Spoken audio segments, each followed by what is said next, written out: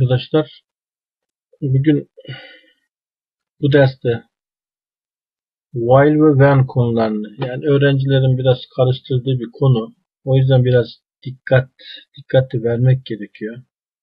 Bu aynı zamanda past tense yani geçmiş zamanla past continuous tense'in de bir e, alıştırması gibi bir şey oluyor. Çünkü bu zamanlarda kullanılıyor genellikle. Başka özellikleri de var da önemli olan buralarda çok kullanılıyor. Örnekler birbirine çok yakın gibi görünür ama görünüyor ama birisinde while birisinde when kullanacağız ama hangisinde? Birinci örneğe bakalım. Üsküdar'da yürürken yağmur yağmaya başladı. Diğeri de yağmur yağmaya başladığı zaman Üsküdar'da yürüyordum. Evet. Zaman böyle kelimeler duyunca bu venli bir cümle. Yürürken, iken böyle görürsek bunlarda while'ı kullanacağız. Peki nasıl ayıracağız bunları? Şimdi en güzel şey cümleleri bir önce ikiye bölelim. Üsküdar'da yürürken. Yani demek ki ben Üsküdar'da yürüyordum.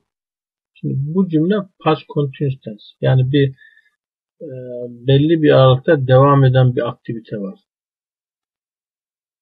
Yani ne tür cümleler böyle şöyle diyeyim past continuous tense. Ders çalışıyordum.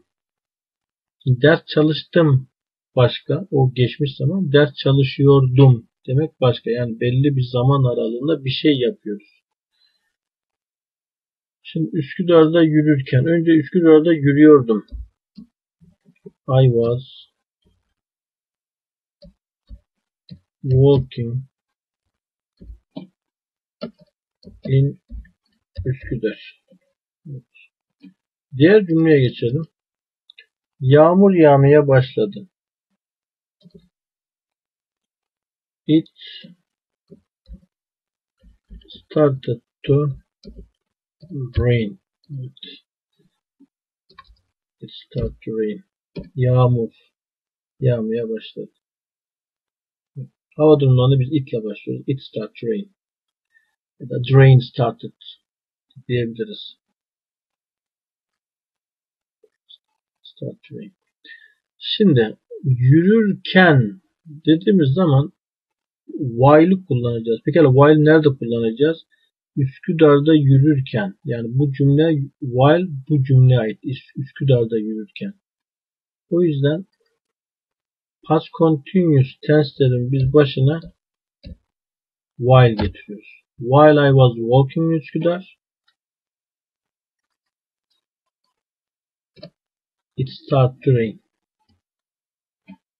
Yani Üsküdar'da yürüyordum. Üsküdar'da yürürken it started to rain. Yağmur başlamaya, yağmaya başladı. While cümleler %99 diyeyim. E, past continuous tense devam ettiriyor. When'li cümlelerde biz geçmiş zamanlı cümlelerin e, başına koyacağız. Şimdi o nasıl yapacağız? Yine alalım. Şurayı kopyalayalım. Şuraya direkt yazalım. İki cümlemizi. Evet. Yine yürüyordum. I was walking Üsküdar. Bak bu cümle burada. Üsküdar'da yürüyordum. Ne zaman? İşte bu ben burada zaman cümlesi yapıyor artık. Ne zaman?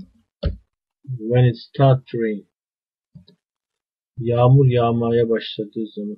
Şimdi bizim asıl cümlemiz aslında burada bu. I was walking Üsküdar. Üsküdar'da yürüyordum. Ne zaman yürüyordum? Mesela saat 3'te yürüyordum. At 3 o'clock. 5'te yürüyordum. At 5 o'clock. İşte aynı böyle zaman söyler gibi biz when'li cümleler de burada zaman belirleyen zaman cümlesi. When it starts to rain. Yağmur yağmaya başladığı zaman gidiyordu. Burada da tersi oluyor. It started to rain. Yağmur yağmaya başladı. Ne zaman? While I was walking Üsküdar. Üsküdar'da yürürken. Şimdi burada şu var. Bu iki cümle yer değiştirebiliyor konuşmada. Tabii Türkçe'de olmuyor. Yağmur yağmaya başladı. Üsküdar'da yürürken diyemiyoruz. Ama İngilizce'de bu var. While I was walking Üsküdar, it started to rain. Doğru. It started to rain while I was walking Üsküdar. Üsküdar'da yürürken yağmur başladı. Aynısını burada da yapabiliyoruz. I was walking in Üsküdar when it started to rain. Doğru. When it started to rain yağmur yağmaya başladı. I was walking in Üsküdar. Yine iki cümle de yer değiştirebiliyor.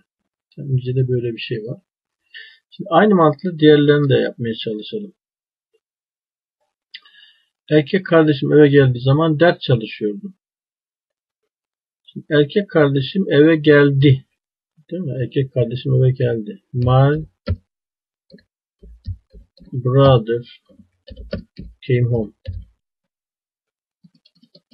Birinci cümlemiz bu. Erkek kardeşim eve geldi. Diğeri ders çalışıyordum. I was studying. Ders çalışıyordum.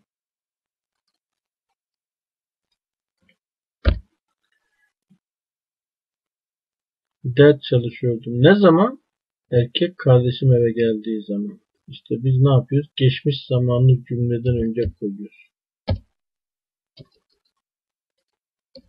When my brother came home,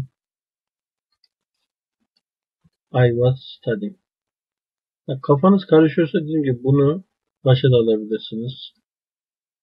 Kes yapalım. Şuraya koyalım.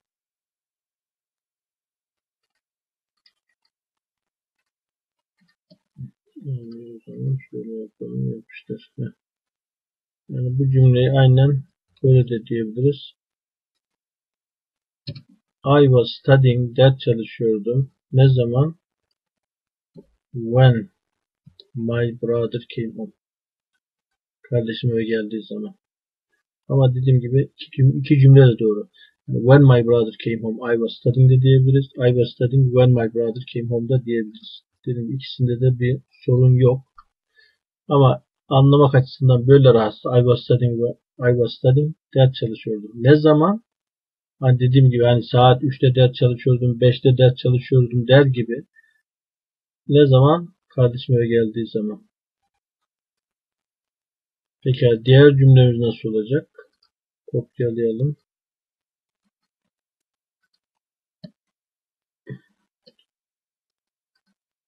Onları yazar yine yapıştıralım. I was studying. When'imizi silelim şimdi.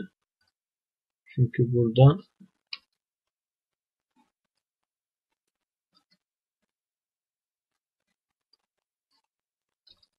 while ders çalışırken erkek kardeşim eve geldi. Şimdi I was studying. My brother came home. Ne zaman? Ders çalışırken. İşte burada da while I was studying. Ders çalışırken buraya bu tarafa ayırıyoruz yani. Burası başka, burası zaman cümlesi. While I was studying, my brother came home. Burada bir şey yok. Tek başına kullanamayız. Yani while I was studying diye bir şey yok. Ancak bu cümleyle o anlam katıyor. Dediğim gibi eğer öyle mantı, öyle biraz şeye geliyorsa garip, şöyle zaman cümlesini sona yazalım.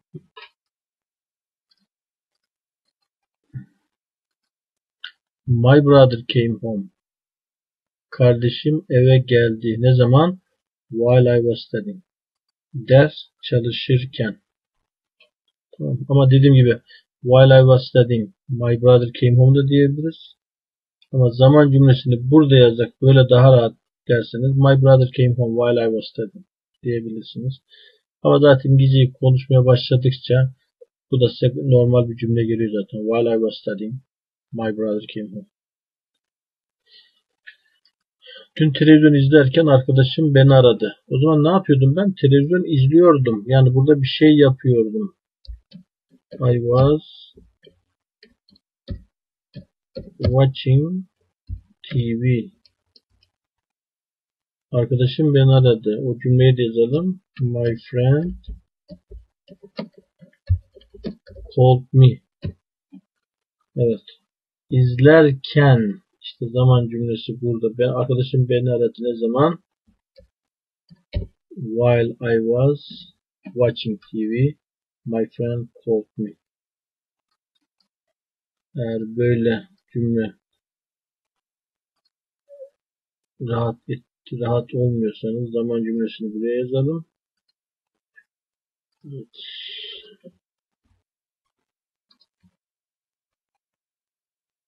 My friend called me while I was watching TV. Evet. Arkadaşım beni aradı. Ne zaman? While I was watching TV. Televizyon izlerken. Arkadaşım aradığı zaman. Şimdi direkt yazıyorum.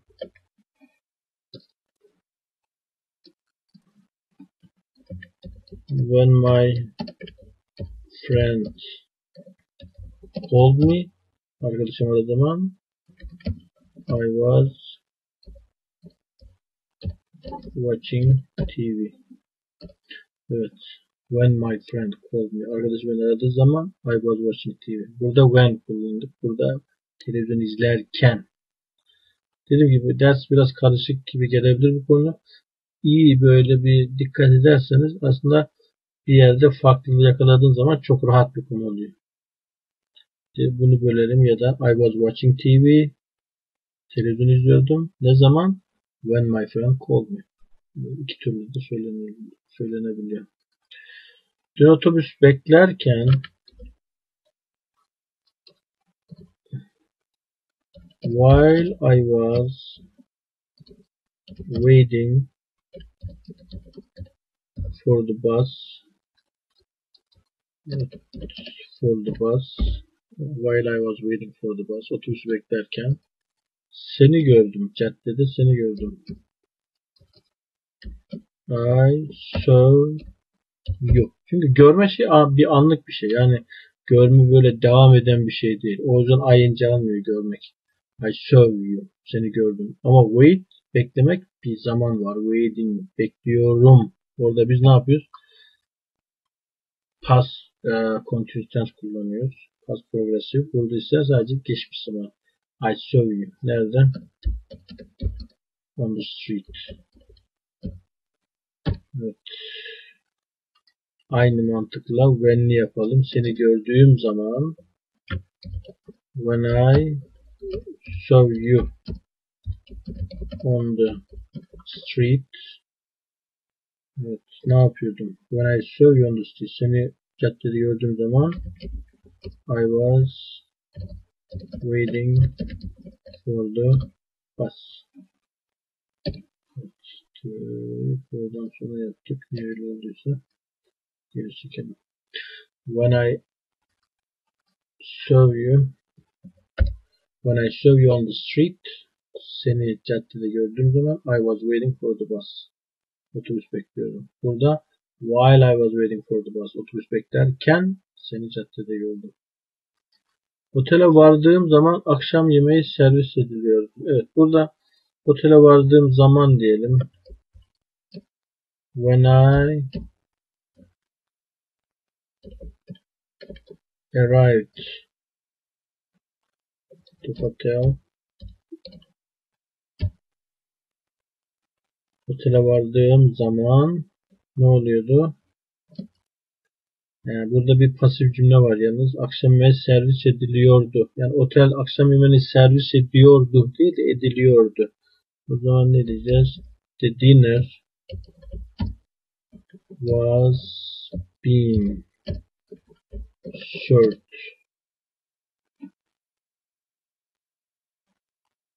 Evet. Nasıl, niye nasıl yaptık bunu? The dinner akşam yemeği served üçüncü halini kullanıyoruz. Was'ı kullanıyoruz. Burada being eki geliyor. Ediliyordu, yapılıyor derken. Servis edildi desek şunu şunu görmeyelim. Was served deriz. Servis edildi. Ama servis ediliyordu. Was being served. Yine diğer de o mantıklı yapalım. Akşam yemeği servis edilirken while the dinner while the dinner was being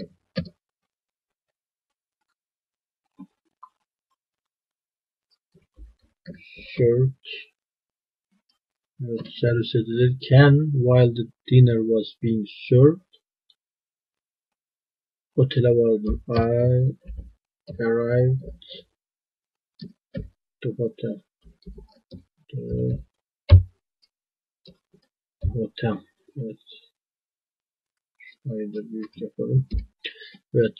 Uh, while the dinner was being served akşam yemeği servis edilirken otele vardım. Burada otele vardığım zaman akşam yemeği servis ediliyordu.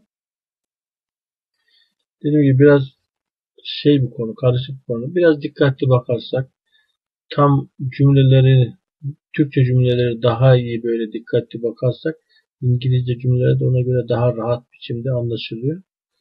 Ee, hemen anlaşılacak konu değil belki bazıları için. O yüzden biraz çalışmak lazım. Bazı örnekler yazmak lazım. Daha sonra konu zaten kendinde anlaşılıyor.